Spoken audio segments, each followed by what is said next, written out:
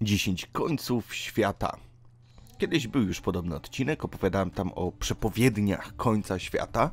Dziś przyjrzymy się wizji końca świata w nieco inny sposób, ponieważ popatrzymy, jak na to patrzą różne ruchy religijne. Chrześcijaństwo, czyli zacznijmy od chyba największej religii na tym świecie.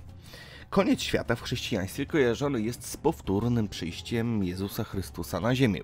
Będzie ono związane z odnowieniem się wszystkich rzeczy. Jezus Chrystus przyrównuje koniec świata do potopu.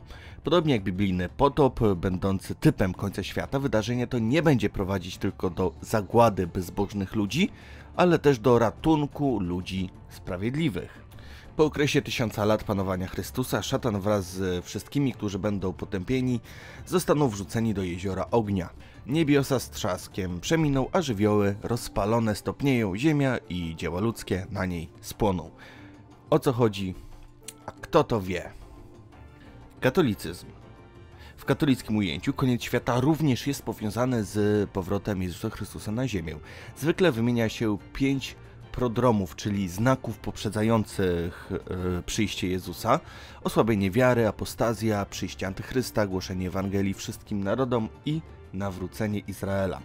Tradycyjnie paruzja była łączona z zamknięciem historii świata, co znalazło uwidocznienie w symbolu konstantynopolańskim, mówiącym o życiu wiecznym przyszłym świecie. W XX wieku nastąpiła zmiana rozumienia końca świata w teologii katolickiej, stąd też koniec świata jest rozumiany raczej jako przemiana, to znaczy zaistnienie nowego porządku kosmicznego, przeznaczonego dla odnowionego człowieka. Na podstawie Nowego Testamentu Augustyn Jankowski wysnuł wnioski, że nowe niebo i nowa ziemia, o których mówi Apokalipsa świętego Jana, już się tworzą pod wpływem Ducha Świętego.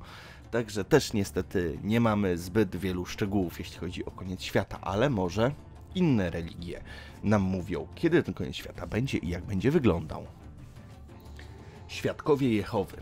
Otóż świadkowie Jehowy uważają, że koniec świata nie odnosi się do zagłady ziemi ani ludzkości, ale oznacza koniec obecnej struktury społecznej, charakterystycznego stanu w dziejach ludzkości, zakończenie systemu rzeczy. Biblia nie podaje daty, ale Jezus podał złożony znak, czyli serię wydarzeń, dzięki którym można dostrzec zbliżanie się końca. Okres ten nazywa się czasem końca lub dniami ostatnimi. Wielki ucisk to cykl wydarzeń prowadzących do zniszczenia obecnego porządku świata, którego finałem będzie Armagedon. Wojna Wielkiego Dnia Boga Wszechmocnego. Będzie to wybiórcza zagłada tylko nieposłusznych Bogu mieszkańców ziemi, a ci, którzy ocaleją, będą żyli na ziemi pod panowaniem Królestwa Bożego, a w ostateczności wiecznie w raju na ziemi.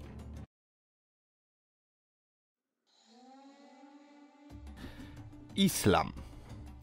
Koniec świata według muzułmanów zwiastować będzie antychryst przybyły na ziemię z jednym okiem i znakiem na czole, którego rozpoznają jedynie wierzący. Następnie Gog i Magog, okropne stworzenia, zaczną niszczyć zapasy pożywienia i wody. Na ziemi pojawią się różne nieszczęścia i kataklizmy, trzęsienia ziemi, pożary, kataklizmy naturalne, zapanuje terror, chaos i wojna. Teraz tak sobie myślę, że niektóre ugrupowania muzułmańskie chyba chcą wywołać ten koniec świata. Wszystkich ludzi pożrą pioruny z wyjątkiem wybranych przez Boga. Każda dusza zostanie sprawiedliwie oceniona, a tych, którzy za kłamstwo uznali znaki, dotknie kara za to, że szerzyli zepsucie. Niewierni nie zostaną zapędzeni do piekła, skąd nie będzie już odwrotu. No niestety żadnych konkretów. Jedziemy dalej. Buddyzm. Otóż buddyzm naucza, że wszystko podlega nietrwałości, zarówno czujące istoty, jak i światy, w których przebywają, które zwane są samsarą. Istnienie samsary uwarunkowane jest prawem przyczynowo-skutkowym, wpływającym na los istot w niej przebywających. Tradycyjne nauki, które niekiedy utożsamiane są z e, poglądami Hinahana, opisują, że koniec świata będzie przebiegał etapami. Zagładzie ulegnie najpierw świat, a następnie zagładził legną miejsca przebywania bogów sfery foremnej, natomiast na końcu miejsca bogów sfery bezforemnej. Co to znaczy? Nie wiem. Judaizm. Ze względu na swoją specyfikę, Tora niewiele wspomina o końcu świata. Ten bowiem implikuje zajęcie się sprawami ostatecznymi w kontekście poszczególnych ludzi. Judaizm zaś zajęty jest raczej historią narodu wybranego i tego, co dotyczy spraw bieżących. Są jednak fragmenty, które opisują ten proces, choć to bardziej tradycyjne wyobrażenia końca świata przez Żydów. Księga Amosa na przykład zastrzega, by nie oczekiwać końca świata. Gdy już w koniec świata nadejdzie, Mesjasz będzie musiał stoczyć walkę z armią Goga i Magoga. Zobaczcie, to samo mówi e, religia żydowska, co i islam. Wódz tej armii zostanie sprowadzony na górę Syna i osądzony, a następnie stracony.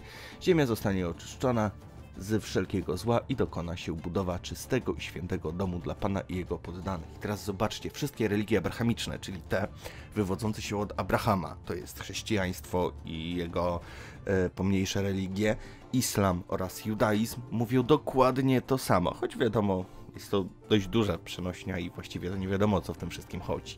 Mniejsza z tym.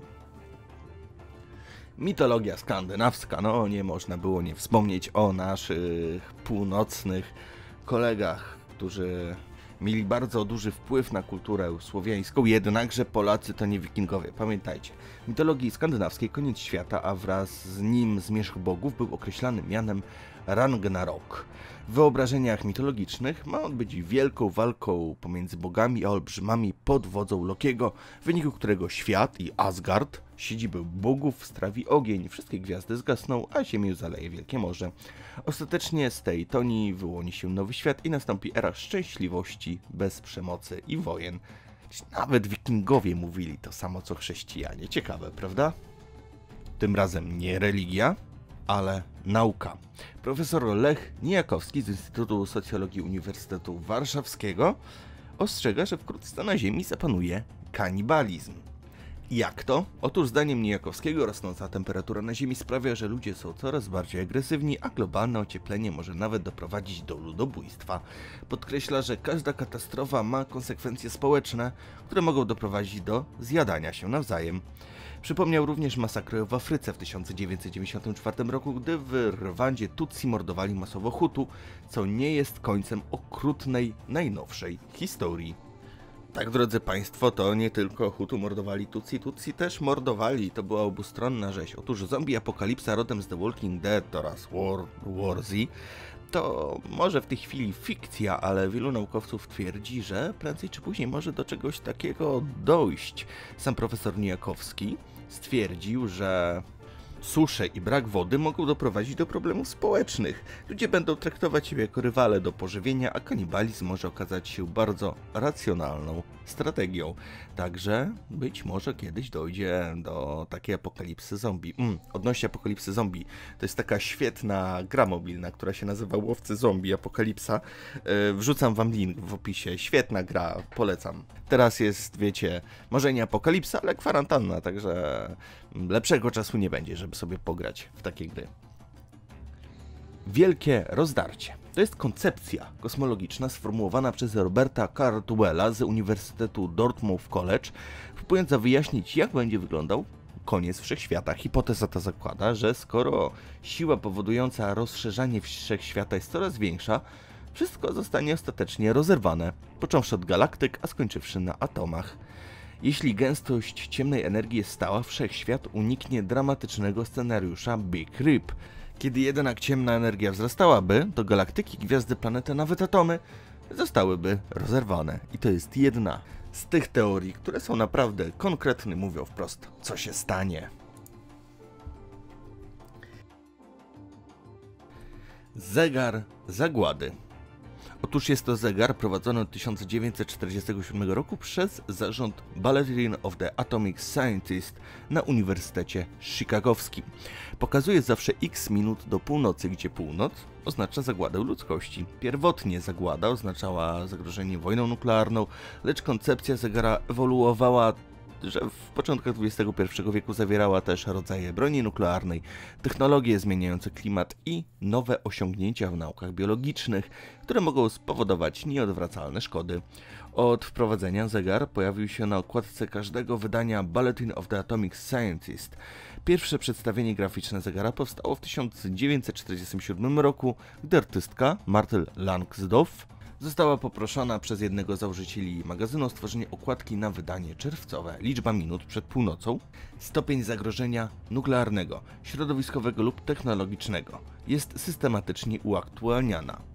Na czym to polega? Mamy zegar i za każdym razem, gdy dochodzi do jakiegoś ważnego wydarzenia na świecie, naukowcy uaktualniają ten zegar, dodając lub odejmując minutę od 24. 24 będzie końcem świata. Najbliżej, z tego co mi się udało wypatrzeć, to była godzina 23.58. Był to rok 1953 i wtedy w ciągu 9 miesięcy Stany Zjednoczone i Związek Radziecki testowały nowe rodzaje broni termojądrowych. Później, godzina 23.58, czyli dwie minuty do końca świata, wybiły w 2018 roku. Wtedy to był brak stosownych rozwiązań wobec narastającego ryzyka konfliktu nuklearnego i zmian klimatu. Aktualnie mamy godzinę 23.58 i 20 sekund. Najdalej od końca świata według tego zegara byliśmy w roku 1991, była to godzina 23.43. Wtedy to USA i Związek Radziecki podpisały umowę rozbrojeniową.